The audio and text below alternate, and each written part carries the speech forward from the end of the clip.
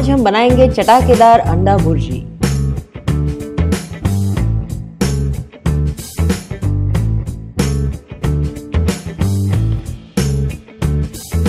Pan में थोड़ा सा ऑयल लें,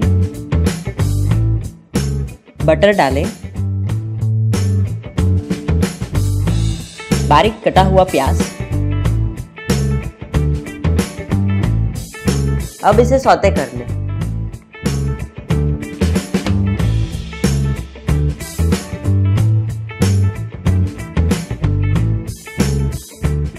बारीक कटी हुई हरी मिर्च और अदरक डालें।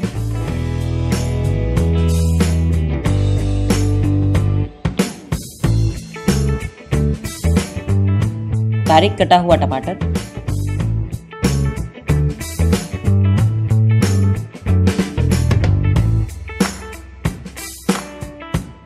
मसालों के लिए सबसे पहले इसमें नमक स्वाद अनुसार डालें।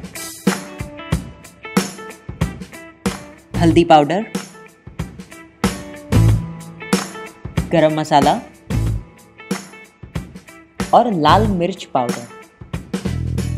मसालों को अच्छी तरह से मिक्स कर ले ताकि वो एक दूसरे में अच्छे से घुल मिल जाए।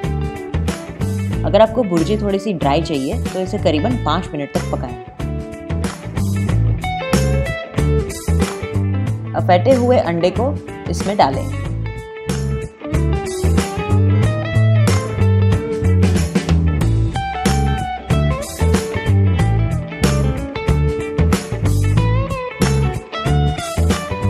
आपकी भुर्जी थोड़ी सी सॉफ्ट हो जाए, इसके लिए इसमें थोड़ा सा बटर डालें।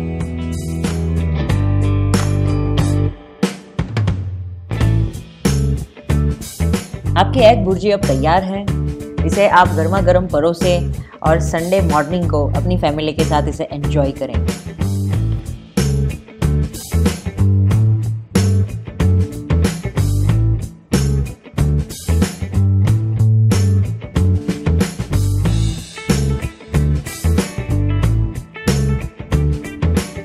Subscribe to our YouTube channel and like us on Facebook to get daily recipe videos.